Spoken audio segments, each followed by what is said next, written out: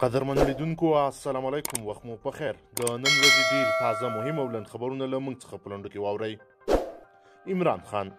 د پاکستان لومړي وزیر عمران خان د دویم ځل لپاره د ولسمشر په توګه ټاکل کېدو له امله ولسمشر غني ته مبارکي ویلې او هیله یې څرګنده کړې چې افغانستان او پاکستان راتلونکي کې ګډ کار او ښې خپلمنځي اړیکې ولري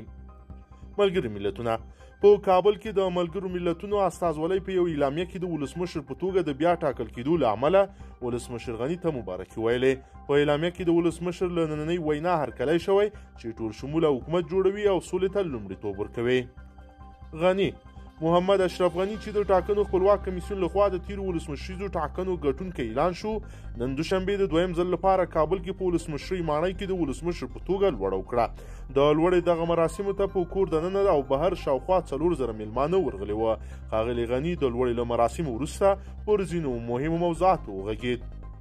خوست د خوست اسماعیل خیل ولسوالۍ په یو جماعت کې د دوو کسانو ترمنځ تر لفظي شخړې وروسته وسله واله نښته شوې ده ویل کېږي چې په دې نښته کې د یوې کورنۍ څلور غړي وژل شوي او درې نور ټپیان دي همدارنګه د بلې کورنۍ هم درې تنه ټپیان شوي دي ایران د ایران روغتیا وزارت وایي تېره شپه د دغه هیواد په اهواز ښار کې د کورونا وایرس د مخنیوي په موخه یو سل او دیارلس کسانو شراب څکلي وه چې له ډلې یې څوارلس تنه مړه شوي دي چارواکي وایي د الکولي مشروبات یو شمېر جوړونکي د خپل غیر قانوني محصولاتو د خرڅلاو لپاره داسې ګنګوسې خپرې کړې وي چې ګوندې شراب څکل کولی شي خلک له کورونا وایرس څخه وژغوري خو د دوی په خبره خلک دې په دې ډول خبرو نه غولېږي او د شرابو له څکلو دې کلکه ډډه وکړي غني د ارګ ولسمشر اشرف غني وایي سبا د طالب زندانیانو د خلاصون حکم ورکوي غني چې نن د ولسمشر په حیث د لوړې د مراسمو ناستې ته خبرې کولې وویل چې سبا د طالب زندانیانو د خلاصون حکم ورکوي او ترڅنګ له طالبانو وغوښتل څو د خپلو بندیانو د خلاصون په بدل کې د جګړې شدت راکم کړي نوموړي له دې سره سره ادعا وکړه چې تر سبا پورې به د بین الافغاني مذاکراتو لپاره د ټیم تشکیل بشپړوي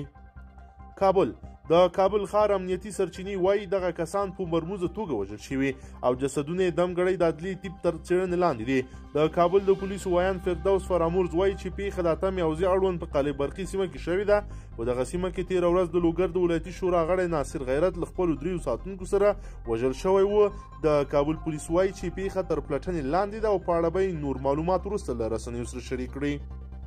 عبدالله عبدالله اجرایي رئیس ډاکټر عبد الله عبد الله وایي چې دوی پر خپل دریځ ولاړ دي او له ولسواکۍ دفاع کوي ډاکټر عبد الله عبد الله تازه په ټویټ پیغامونو کې ویلي چې دوی پر خپل دریځ ولاړ دي د قوانینو له مخې د خلکو له حقوقو او رایو دفاع کوي نوموړي دغه راز ټینګار کړی چې شکمنې رایې باید باطل شي د ده په خبره یوازینۍ لار چې اوسنی بحران له منځه وړلی شي د ناسمو او غیر شفافو رای باطلول دي له دې سره هممهاله د عبدالله ټاکنیزې ډلې غړی بیا وایي که په ار کې د لوړې مراسم ترسره شي نو په سفیدار ماڼۍ کې به هم ترسره کیږي او عبدالله عبدالله به د ولسمشرۍ په توګه معرفي کوي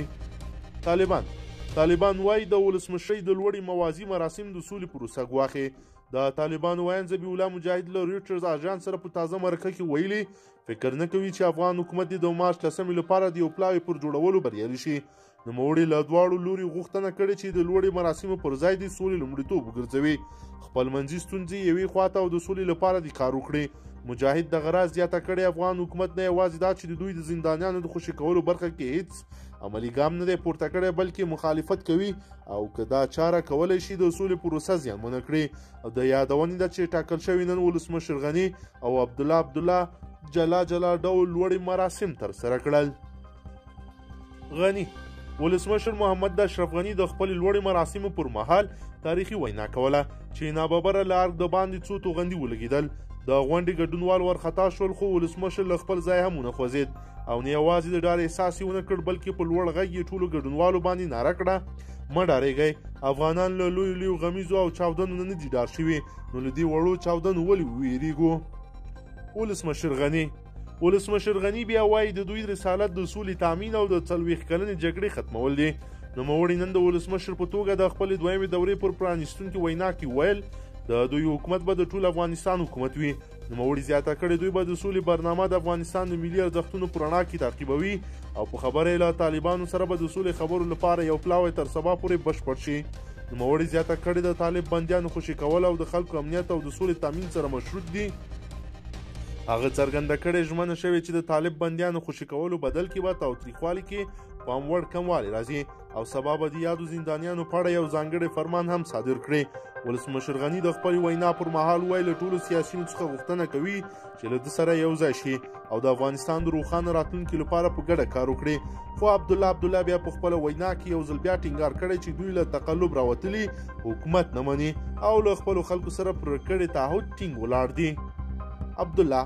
د سپیدار ولسمشر عبد الله عبد الله وایي له طالبانو سره په خبرو کې له دیموکراسي جمهوریت او وروستیو لاسته راوړنو دفاع کوي خو تر مذاکراتو وړاندې په هغوی هیڅ ډول شرط نه ږدي عبدالله عبدالله چې نن په سپیدار ماڼۍ کې د مشغول حکومت د ولسمشر پایس لوړه وکړه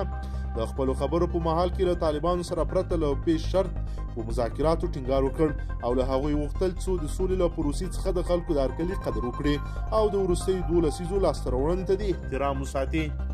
قدرمنو لیدونکو که چیرې غواړئ چې ورته تازه او مهمو پیښو څخه ځان ډیر ژر او په لنډو کې خبر کړئ زموږ چینل د سره سبسکرایب کړئ ویډیو سره حتما لایک کړئ تر بل ویډیو مو په لوی رب سپارم